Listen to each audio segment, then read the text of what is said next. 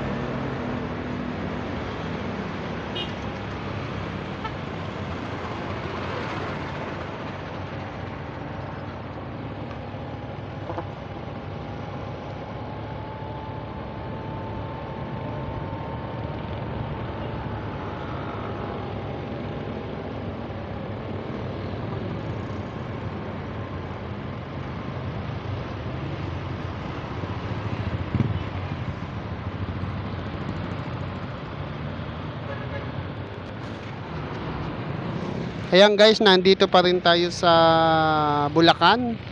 Ah, I am not sure kung party pa to ng Marilao dito sa tulay na mahaba na to or boundary ba siya ng Marilao Bukawi.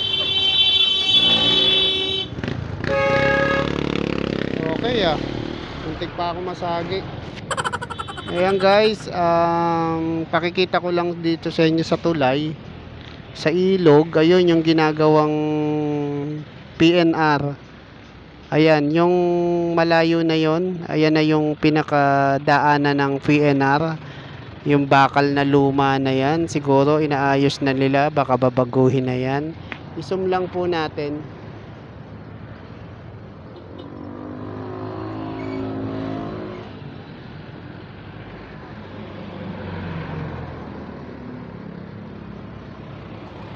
Ayan, mapapansin nyo may mga gumagawa po doon. Ayan. Masyadong mga pasaway driver dito. Nasa tabi na ako eh. Minumuntik-muntikanan pa ako sa giin. Pagkakaalaman. Naksiyabang.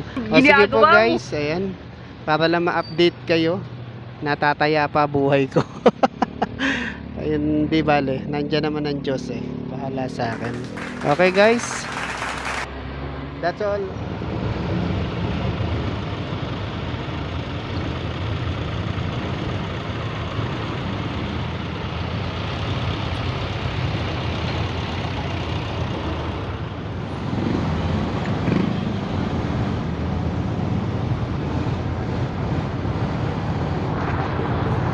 At eto nga guys, mula Manila, Tumalolos Bulacan ang biyahe natin at ina-update ko kayo sa PNR project from Tutuban, Manila to Malolos Bulacan.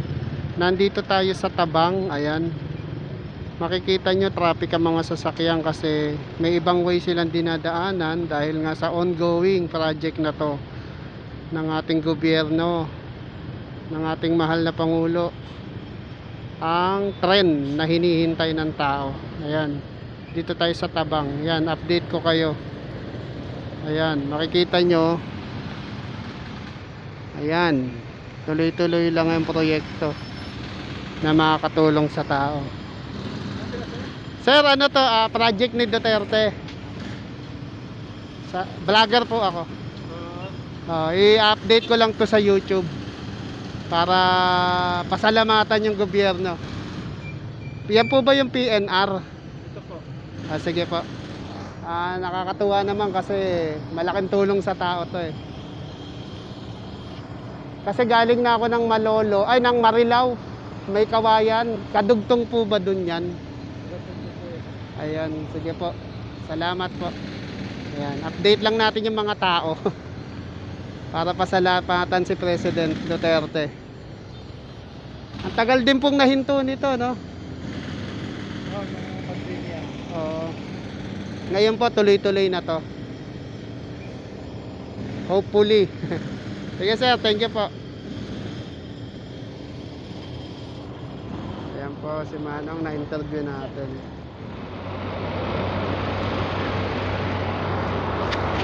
Ayan guys, nandito tayo sa Tabang, Malolos, Bulacan. Ayun yung toll gate. Ayan. Ayun yung toll gate sa bandang unahan. Tapos makikita nyo yung tower na yon, ayun yung ginagawang PNR. Ayan. Nandito tayo sa Bulacan Garden. Ayan, maraming halaman dito.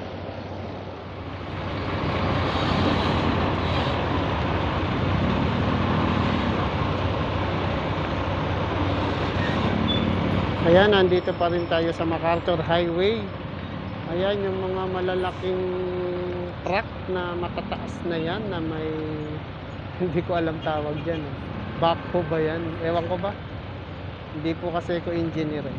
Ayan, na patuloy o ongoing na ginagawa ang PNR project.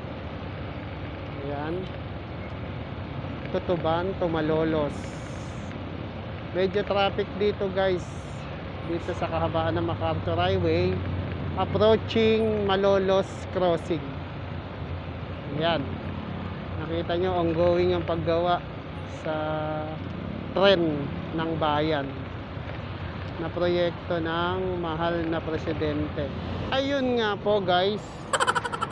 Ah, nandito tayo sa kahabaan ng Malolos, MacArthur Highway. Ayan, ongoing PNR project ng gobyerno. Ayan, nasa, makikita nyo yung kulay blue na yon. Ayan, kung di ako nagkakamali, ewan ko ano tawag dyan. Yan yung magiging daanan yata ng tren o ng tren ng PNR. Ayan. Nandito tayo sa MacArthur Highway. Ayan. Tapat nyo po ay Robinson Place, Malolos. Ayun. Nakita nyo ba guys? Ayan. Ayan. Ongoing PNR project ng gobyerno. Medyo traffic lang po dito.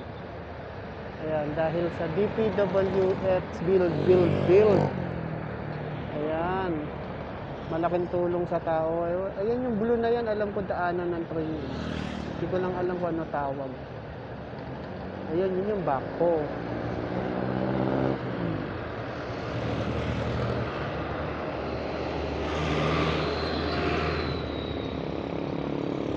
Sana matapos na na makasakay na ako ng tren from Tutuban to Malolos in 35 minutes. Oh, ay!